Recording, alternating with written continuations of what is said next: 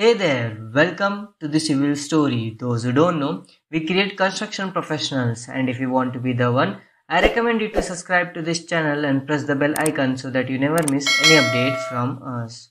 So today we are going to see how to set units and dimension style in meter in AutoCAD. The very basic step before starting any drawing in AutoCAD is to set units.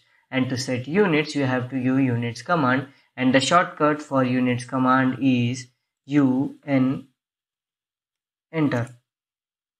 Now here we have to make basically three changes. The very first change is length type should be set as decimal and precision according to your requirement you can select any one from this for instance I will select it as 0.00 and insertion scale should be set as millimeters you should remember one thing that if you are making any drawing in meter or centimeter then you have to select insertion scale as millimeter and then press ok.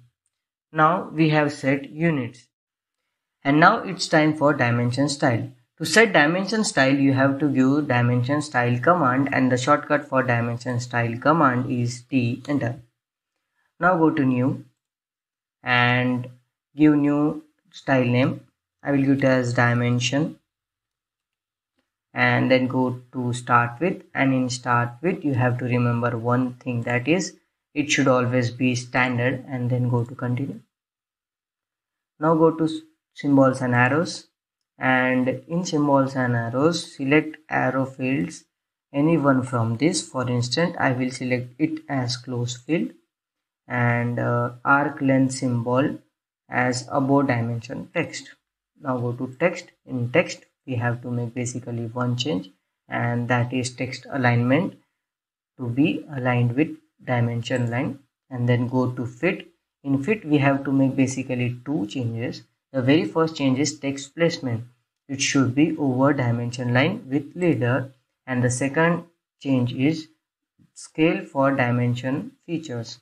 And it should be 3 you can use any scale according to your requirement.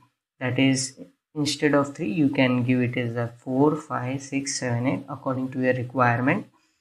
And then go to primary units. And in primary units you have to make only two changes.